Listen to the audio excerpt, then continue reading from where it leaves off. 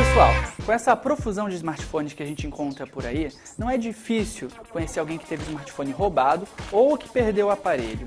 Então, para esse tipo de situação, agora a gente vai te ensinar a rastrear o seu celular Android.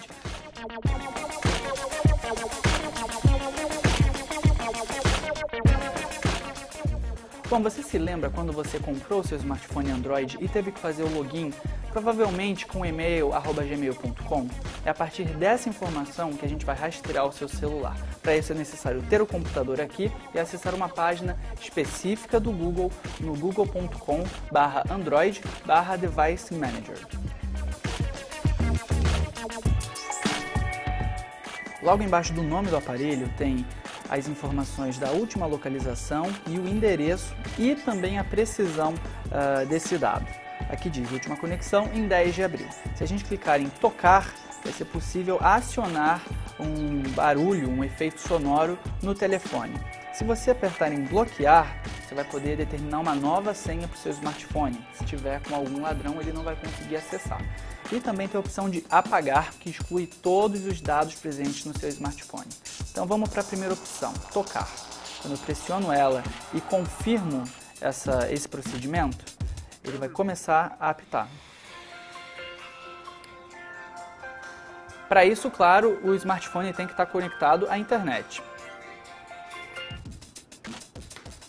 Na segunda opção, bloquear, eu vou desbloquear o Galaxy S6, que está aqui na minha frente, e vou tocar bloquear. Vai pedir uma nova senha, 1, 2, 3, 4, 5, 6. Mensagem de recuperação. Por favor, devolva o meu smartphone. O fone está desbloqueado, aí eu aperto bloquear. Já aparece uma mensagem, por favor, devolva o meu smartphone. Tem até a opção de ligar para o proprietário. Agora, a terceira opção é a mais perigosa delas. Você tem que estar certo de que você quer realizar o procedimento de apagar. Você clica nessa opção, o Google te pergunta uma segunda vez se você quer apagar todos os dados.